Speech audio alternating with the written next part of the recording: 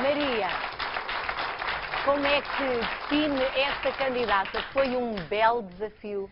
Foi um, foi um belo desafio uh, pela história, mas uh, eu assim que vi a Lúcia pensei, vai ser fácil porque ela é tão bonita e eu pensei logo imediatamente, é um diamante pronto a esculpir, porque eu vi, ela tem um tom de pele tão bonito, uns olhos lindíssimos, uma, um cabelo também assim arruivado, cor de fogo, lindíssimo, por isso eu pensei, ela só precisa de facto de... Hum, de pensar um bocadinho mais nela própria, porque notava-se que o quarto da filha estava fantástico, cheio de brinquedos, super bem decorado e realmente tudo o que tinha a ver com ela, o quarto dela, o guarda-roupa dela, estava, estava esquecido. A Lúcia tinha, tinha um bocadinho, tinha-se esquecido como, como mulher, uh, porque também passou uns tempos difíceis, mas agora, agora está na altura dela voltar a ser como era antigamente, porque o mais engraçado é que a Lúcia antigamente adorava arranjar-se, usava saltos altos, usava decotes, tinha um carro, não sei o que, GT, para andar super rápido, ou seja, saía à noite. Nós eu fiquei super surpreendida, pensei como é que uma pessoa mudou tão drasticamente, por isso agora é preciso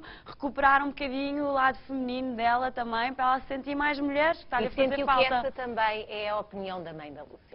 Também, senti, senti. Senti que a mãe era a principal impulsionadora e que estava constantemente a tentar animá-la e alegrá-la. É uma pessoa super bem disposta, super animada uh, e, que, e que ajuda muito também a tomar conta da filha e que, e que é a principal. Uh, e também interessada em querer que ela volte a ser a filha que era há uns anos atrás e que continua a dizer a minha filha é tão bonita, porque é que ela de repente se está a anular desta maneira? Não pode ser, ainda é super nova, tem 28 anos, é novíssima.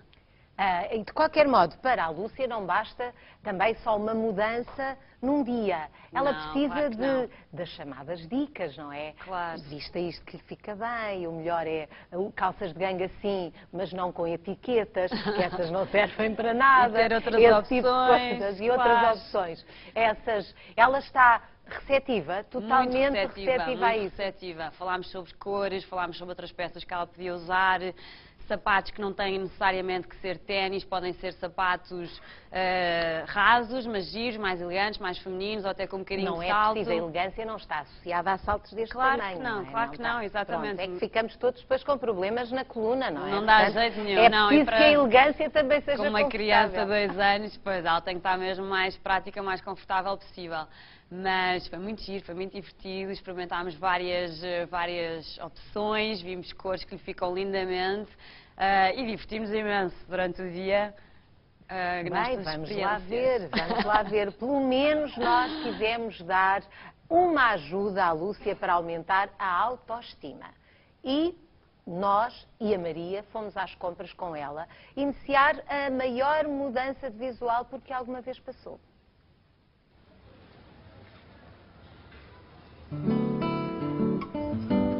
A última vez que vim às compras foi há mais de 3 anos, lá vai imenso tempo. Recordo-me que vim comprar umas calças de ganga e umas camisas como já estava a ser habitual. Hoje pretendo mudar o meu visual, pretendo algo mais arrojado. Primeira paragem, a loja de roupa. Mandámos a Lúcia sozinha às compras. Vamos ver se sabe escolher quais as roupas que mais fazem por ela. Olha, sem dúvida, estas calças de ganga. Caixas diferentes e giras. Talvez esta camisa. Também acho muito gira. Olha, penso que um vestido assim não me sentaria nada bem. Pode até me sentar bem, mas irá fazer-me mais velha, com certeza. E então, Lúcia, que tal? O que é que acha até agora? A minha escolha tem coisas muito giras. Tem coisas muito giras, não é? Então vamos lá ver. Nós temos que nos lembrar que a Lúcia precisa de roupa confortável para andar no dia a dia com a sua filha de dois anos, portanto tem que ser o mais prática possível, eventualmente para uma entrevista de trabalho, não é? Agora que vai começar a procurar emprego outra vez. Então, falam lá. Temos aqui esta camisa e estas calças de ganga. Para que situação é que seria? Eu pensei numa entrevista de trabalho. De calças de ganga? E agora aqui? O look mais, mais descontraído, não é? Gosto muito deste top, assim, este género tingido. E estas calças também. Aliás, eu escolhi umas calças destas, exatamente estas calças para si. Por isso estamos aqui em sintonia, pelo menos nas calças. Agora este para trabalho, é que não sei tão bem se concordo. Mas vamos experimentar aqui algumas, algumas combinações possíveis.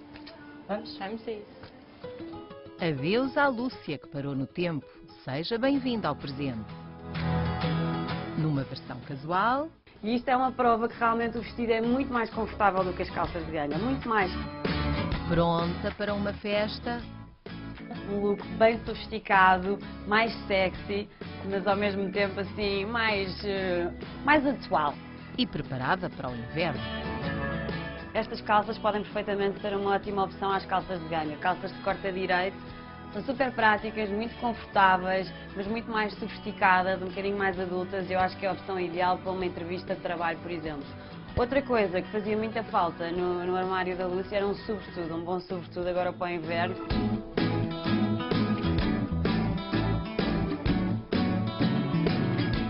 E agora vamos então para os sapatos, que é o que está a faltar agora para completar o visual, e depois ainda temos o corte de cabelo.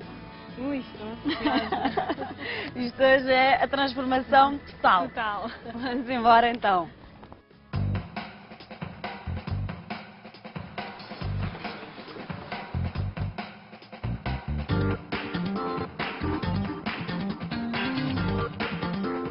Estes são uma ótima opção porque têm cunha, mas entretanto já estamos a entrar na estação de outono, portanto já não vale a pena estar a investir numas sandálias.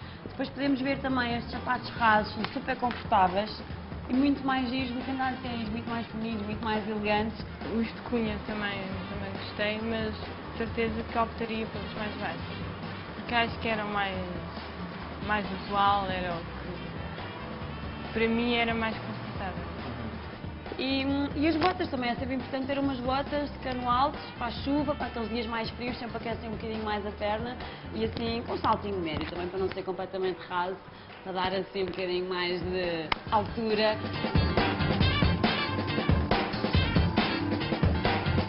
Esta carinha, ela é branquinha, ficava bem ela ser, ser mais ruiva. Isto está um bocadinho amarelo e tal. Uh, e está um bocado, este cabelo é poroso, e então com uma coloração ele vai ficar mais hidratado, mais batido, mais brilhante. Eu ia por aí, começava por aí. Arranjámos uma solução para ela não andar sempre com o cabelo preso. Claro que o corte nunca pode ter muito corte, porque o cabelo dela encolhe. Uhum. Vai ficar estilo abajur, pode ser. Para apanhar, também não, porque depois vem todo para a frente. Tem que ser uma coisa mais batida, okay. mais afilá-lo mais. Tá? Pronto, Lúcia?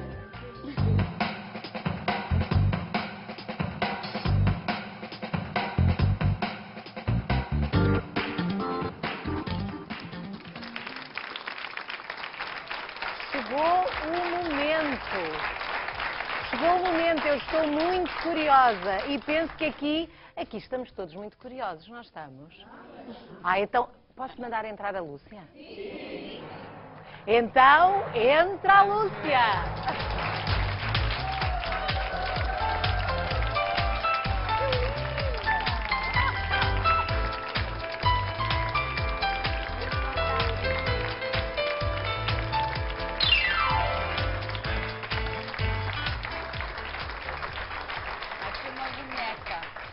Então, que tal? Está aprovada? Toda a gente diz que está aprovada. Como é que se sente, Luciano? Mais jovem, uns 10 anos. Mais... uns 10 anos? Mais leve? Muito mais.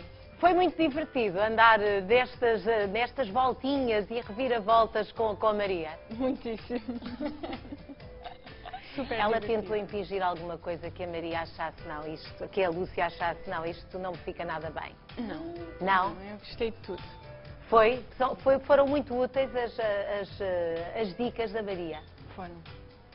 E o que é que lhe disseram quando chegou a casa? Simplesmente que estava bonita.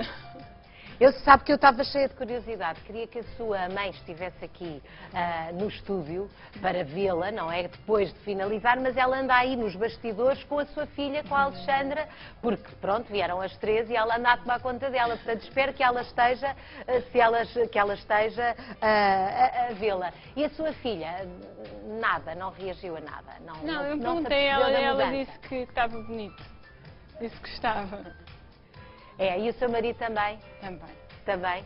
Então diga-me cá, hum, agora tem algum propósito especial? Já marcou na sua agenda? Eu agora vou Agora que já estou ainda mais gira do que já sou, porque também, Maria, não foi nada difícil pôr qualquer coisa na Lúcia, porque qualquer nada coisa difícil, fica bem. Nada difícil. Mas na última fase no cabeleireiro, a Lúcia pediu logo o número de telefone do cabeleireiro e pediu informações sobre o que é que tinham feito e até trouxe alguns produtos que, nos, que lhe ofereceram, que foram super simpáticos. E então já, já eu notei logo aquele interesse em, não, eu vou continuar a fazer isto, sempre que for necessário, retocar o cabelo, a cor. E uh, vai. E acho que a roupa também. Vai, já tem na sua agenda. Agora vou ter de sair à noite, um dia destes. Já está isso planeado ou ainda Já não? está quase. Está quase. Mas não pode perder a embalagem, senão volta para casa e para o pijama, não pode ser. Não, falta só a disponibilidade da parte da mãe, aguentar-se uma noitinha caneta, porque de resto, ui, ninguém me para agora. Ai, que coisa maravilhosa. Isso é que nós queríamos ouvir, não é? Ninguém a para agora, acho isso.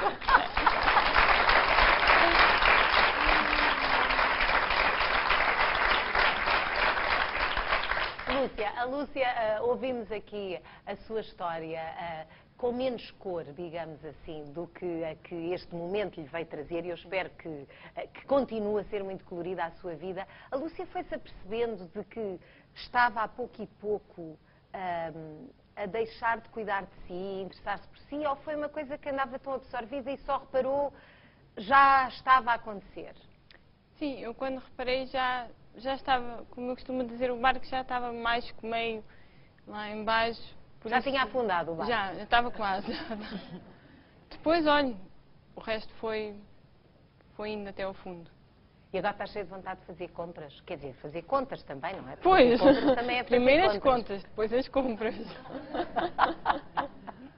E a sua mãe foi uma grande impulsionadora. Ela ficou contente quando descobriu que nós íamos lá bater à porta com a Maria. Ficou. Isto era uma coisa que ela já batalhava já há muito tempo.